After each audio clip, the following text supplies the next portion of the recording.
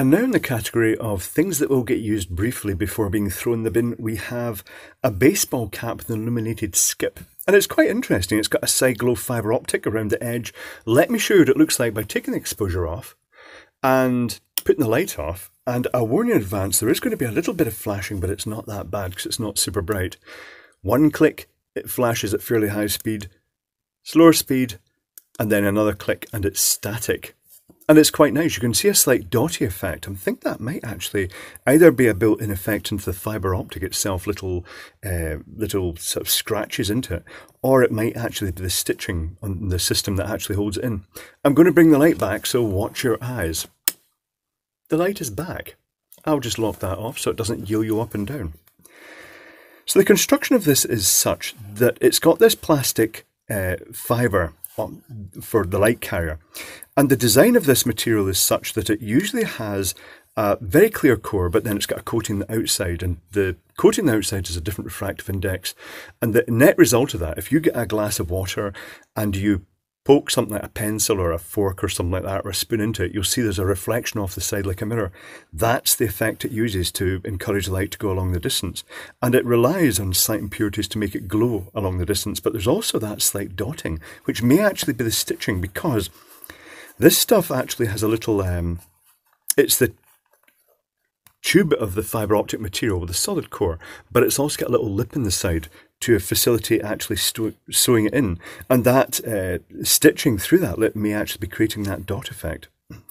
The LEDs are just tacked onto the end with what looks like uh, heat shrink. I'm just going to try and pull this off. It may, oh, it has pulled off. It is just a sleeve that has been shrunk down. Let's pull the LED out. The wires have just pulled off the LED, that's alright. I grip the LED. It's kind of heat shrunken, I think.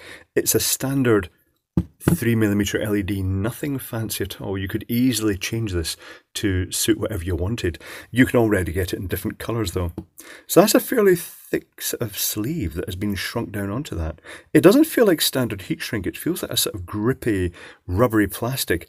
And that literally just goes over the end of that. And they've cut the, the little fin on the side of the plastic light guide They've just basically cut that away so that can be slid over it and it fits over quite tightly. Let me show you the electronics. The electronics are a little circuit board like this.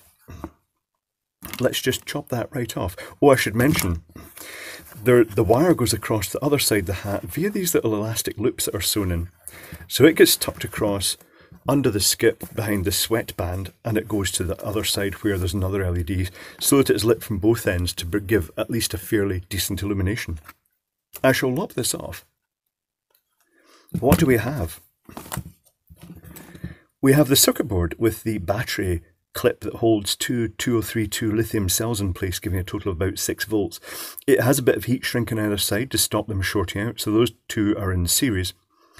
And then the connection, rather oddly, onto the bottom is actually a printed electrical connection. It's that graphite ink, which I have to say, when you click this to squeeze it, it changes in intensity just because you press the battery against that harder. It must change the surface area of the contact on that. It bridges over to here. And there's a little blob chip, the classic little resin blob, chip on board, cob. So we've got one connection coming from the outer metal frame here, soldering onto here. We've got a little chip on board, and then we've got a couple of uh, track contacts coming underneath this clicky switch and it'll have a central contact. I'll just peel that off. It's stuck on with sticky tape as so many of these things are. So if I peel this off, there should be a central contact. There is the central contact with a little clicky disc that just bridges between the outside and the inside. And that is fundamentally it. There is no resistor as such, although I suppose ultimately this conductive layer here will be acting as a resistor, particularly that little section of track there will probably have at least some resistance. But it's not complicated. It's quite a nice construction, and although it didn't look very bright, it is actually quite visually appealing. It's not too bad at all, so you could actually modify that. If you had a situation you want it run for long, you could even have an external battery pack and uh, perhaps even increase the intensity of the LEDs a bit.